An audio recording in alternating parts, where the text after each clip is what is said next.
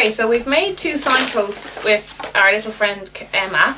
And now we're going to make the next um, bit, which is kind of like a picnic table. So Emma's going to stay over there. And we've got all our bits here. So we're going to start off with this green bit here. And then we'll take one of these guys and put it on the edge, the very edge.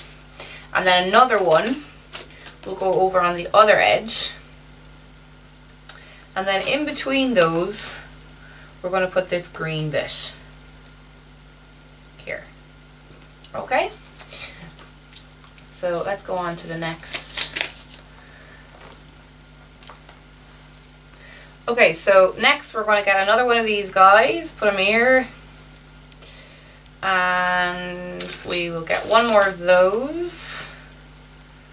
And then we need the other green bit, so this bit here. And that clicks in like that, so you can see that the shape is starting to come out. And then in the middle, we're going to put this lighter green bit here. Okay, then on top of the this bit here, we're going to put the picnic benches like this. Oh, they look lovely. And here, like this. And then we're going to get um, the two holders for the table. So they almost look like little windows. You can see. And you want to face them outwards. Like this. And then on top of those, we put this brown square. Like that. So you can really see the table starting to take shape. So now that we've got our table, next we're going to make some sandwiches. And we're going to do that by using this little bit here, a green bit, a red, oh, a red bit, and then on top of that, if I can find it, we're going to use this guy.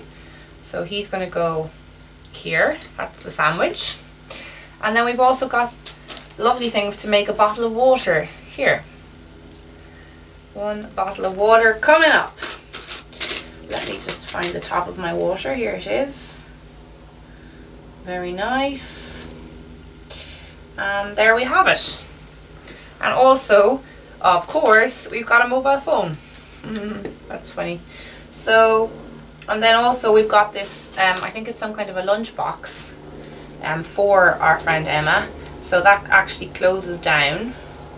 And um, I think we're going to put some flowers into it because obviously if you're maybe going to get some nice flowers for your mother or something like that. And then you click that down and put it here. And then Emma can come over and just sit like this um, and her little dog can sit opposite her. So there is the perfect picnic table ready to go, all made. Was it done? Yeah. Well.